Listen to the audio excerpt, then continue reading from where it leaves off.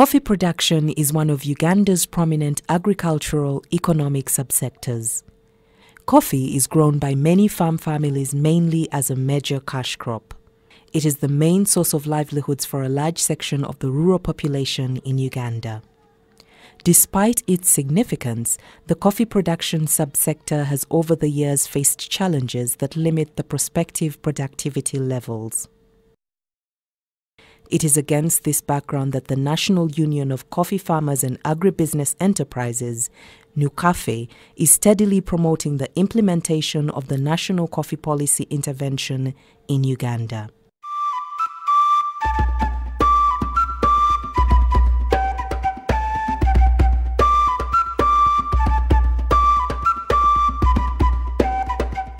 Using support provided by the United States Agency for International Development USAID, NUCAFE is advocating for effective participation of women and youth in the coffee production value chain.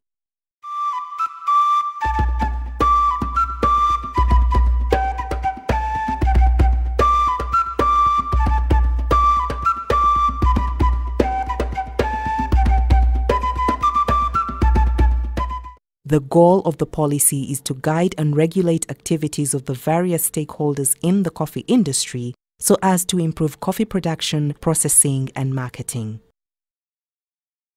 Naomi Masika is a successful coffee farmer based in Karangura sub-county. She is the chairperson of Karangura Peak Coffee Modern Association Limited. She shares her concerns with regard to family relations that used to undermine the effective participation of women and youth in the coffee value chain before the inception of the gender based advocacy for the implementation of the national coffee policy in Uganda. Women could do a lot of work, and uh, when it comes to, to the market, women are left behind. They don't earn anything when they are selling coffee. The, the family relationships were very, very bad uh, people could fight with ignorant things. Mostly when the men could could take the money, so the men could misuse the money. So when the woman asks where is the money, you find that there is war at home, and improvement improvement of family holds we are not there. The traditional cultural setting in many coffee growing families used to dictate that women and youth do much of the work across the coffee value chain. As a result, women and youths were exploited since the income from coffee production is strictly controlled by men who are the head of the household. Women and children in coffee farm households are usually exploited by the husbands who are the head of the family. Women and children do much of the farm work in terms of tilling the land, planting, and harvesting. Husbands usually come in at the time of marketing after selling the coffee. They control the income and take independent decision with regard to how the income will be expensed. In most cases, our children miss out on going to school and are also denied the opportunity of access and ownership of land.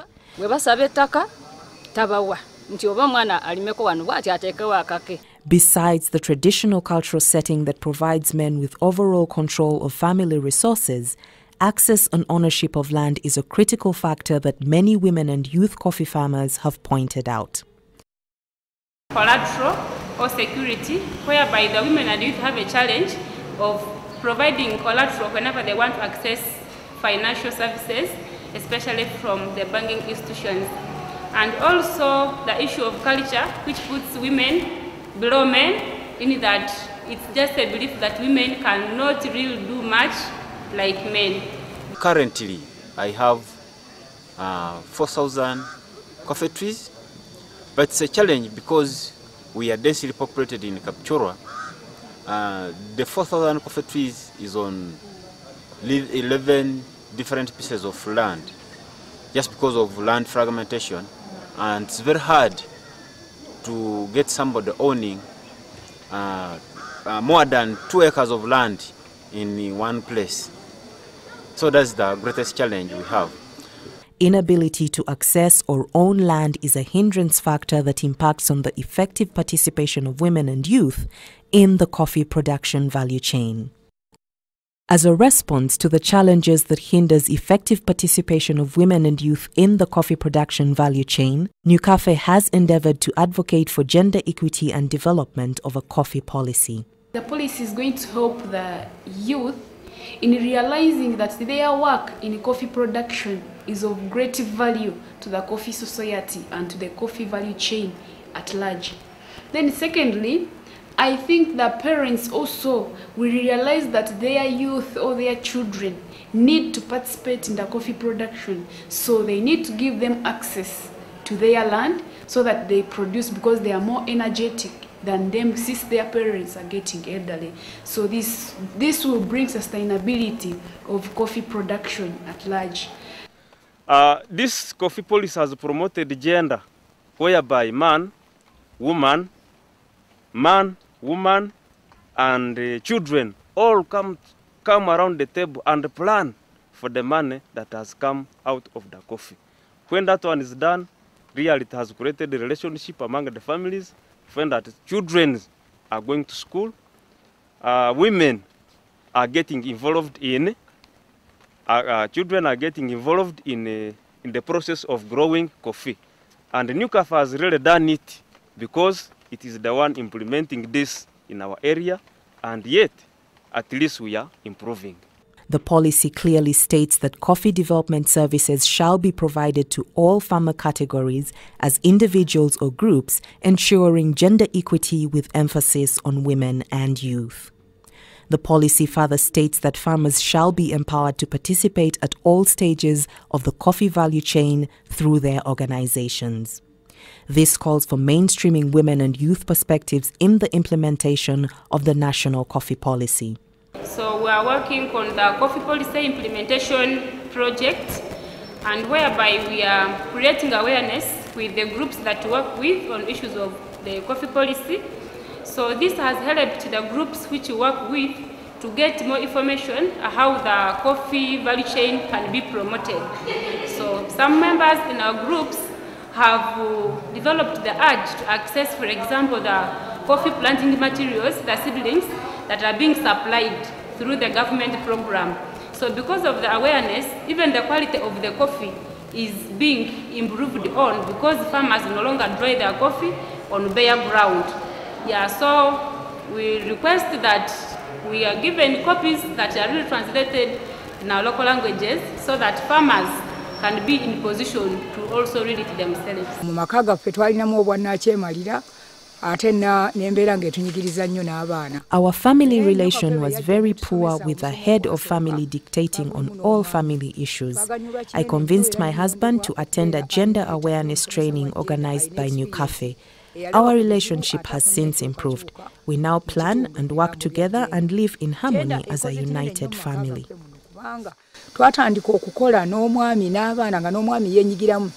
The gender training is very ideal for Edgar Chiberu and his family. Edgar used to admire working closely with his wife. The couple attended a gender training organized by NUCAFE, where their aspirations were cemented and fulfilled. The family started investing in both coffee growing and a variety of other food and cash crops. In addition, the family decided to diversify by starting a pig rearing project. Mu genda project engeri We have tremendously benefited from the gender training organized by NUCAFE. As a family unit, we plan, work together, and take joint decisions for the betterment of the family welfare. Besides, the training provided a rare opportunity for exposure and building partnerships with other farmers. Our family income has increased and we are assured of food security. Our livelihood is much better than ever before. emmere ebeerawo abaana tukwasaganya eh, tewali alekera munne kyekikulu ekiriwo new cafe yatuleetera ku musomo gwa genda ne gutuyigiriza The gender training inspired us to work together as a family unit. The cooperation is very useful and beneficial. We help each other in meeting the family expenditures, including paying school fees.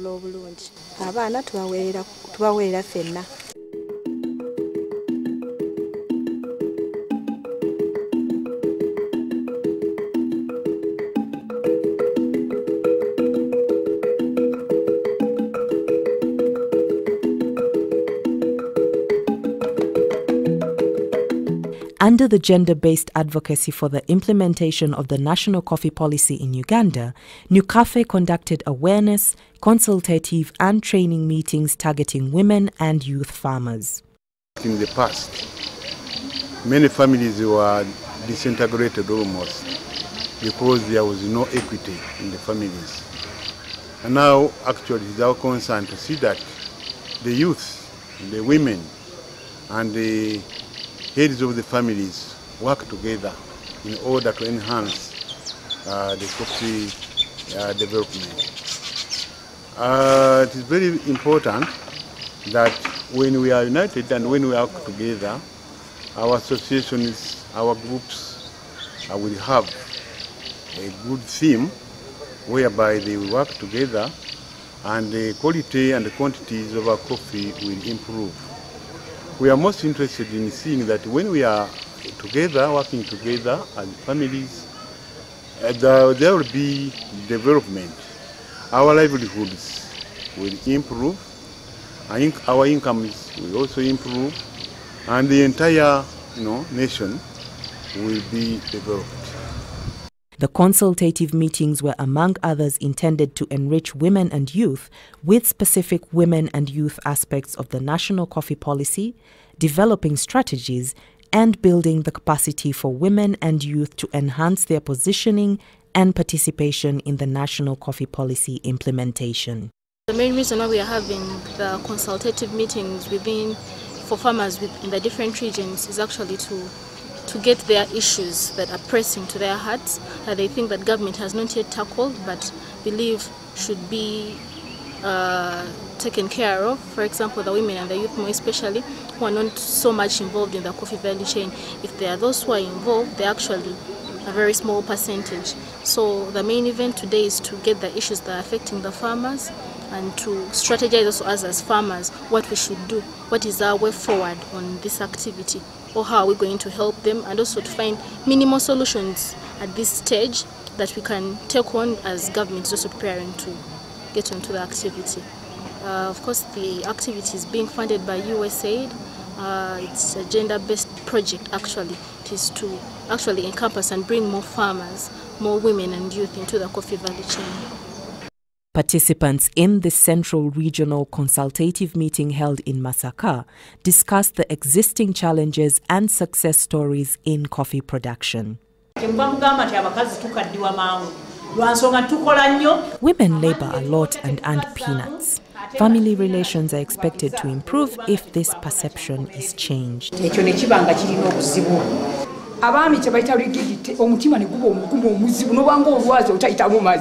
Men are too rigid.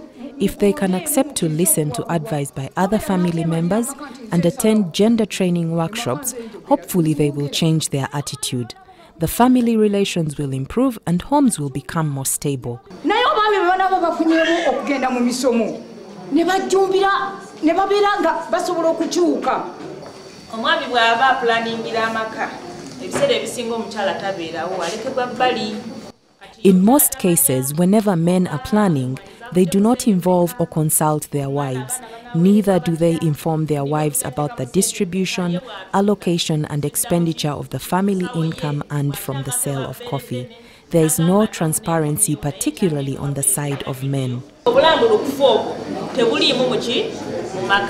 This is a consultative meeting held in southwestern region of Uganda. Participants share ideas with regards to effective participation of women and youth in the coffee production value chain. If the youth take coffee production as a business and they implement it through the policy, through maintaining the quality, through increasing the production, I think their income will increase higher with a higher percentage and the the other challenge of of the youth running for white collar jobs will reduce in the country. We had to look at uh, gender policy, whereby it helps us, men, women, and the youth, to be involved in the land joint agreements and decision making after sales of the coffee. And uh, when we looked at uh, the processing uh, of coffee, that is marketing, we came up that most of the farmers at household level, we had not known where to sell our coffee. But when we went with the weight processing coffee, we were able to get premium, that is second payment after sales. And this was due to the quality of coffee that we would move from 70 to 87 percent after the involvement of the men, the youth, and the women working together. NUCAFE is also promoting the youth and coffee innovations for increased job creation through a well facilitated coffee festival in the coffee value chain. In this respect, NUCAFE organized sub regional festivals where women and youth farmers showcased coffee products and agribusiness enterprises.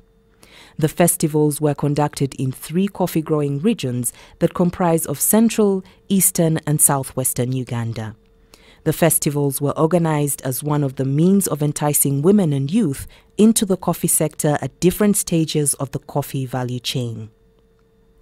The festivals provided an excellent opportunity for promoting youth and coffee innovations through facilitating increased exposure to opportunities and networking for increased job creation in the coffee value chain. New Cafe is to organize a regional festival, and this is one of them in all the four growing regions the central, eastern, southern, and west. So far, we've, we've had one here in Kamuli covering the eastern region. Like they, they've come together to showcase what they are doing and also to network. And the main essence is to increase the coffee, coffee, coffee consumption, which is also stated in the National Coffee Policy as an objective. So we are trying to promote our coffee consumption by drinking our own coffee. Among others, NUCAFE intended to use the farmers' festivals to foster promotion and building of strategic business partnerships and relationships for the youth and women through networking and collaboration in the coffee value chain.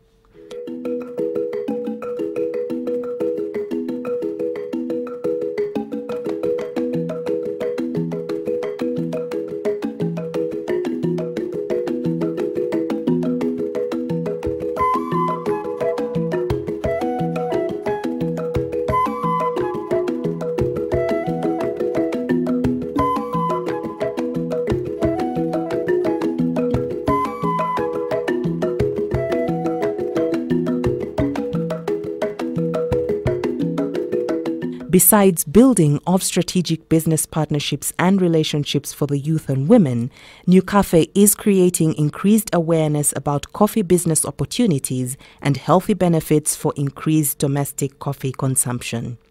This is intended to promote domestic consumption of coffee as well as enhancing the coffee industry competitiveness and developing the domestic coffee markets.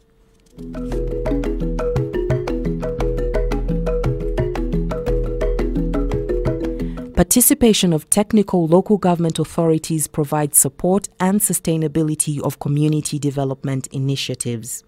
NUCAFE is actively engaging local government authorities to tap into support structures that are mandated to conduct regular monitoring and provide support supervision to ensure implementation of government policies, including the coffee policy. We should work very hard to ensure there is good production especially in the agricultural product. Like when it comes to coffee, coffee is a long-term investment and when you have successfully managed it, you will live to remember. The National Coffee Policy is a welcome intervention. It provides regulatory measures and guidance to coffee farmers and, in particular, women and youth. The project implemented by NUCAFE has resulted into positive transformation leading to equitable benefits for coffee farm families.